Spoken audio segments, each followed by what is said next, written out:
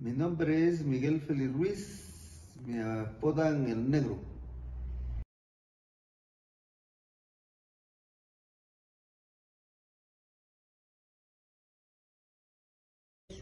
Pues el primer acercamiento, les vuelvo a decir que es cuando salían los tíos más grandes y participaban en las casas y iba uno a verlo y pues te gustaba cómo se vestía el diablo, cómo se vestía la calavera y los demás personajes, el viejito y todo y me dio curiosidad y me encantó y pues precisamente por eso participo, porque me gustó.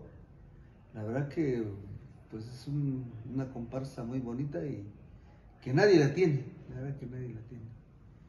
Y ese fue mi gusto, de, de que sí me, me encantó participar como levantamuertos que le decíamos.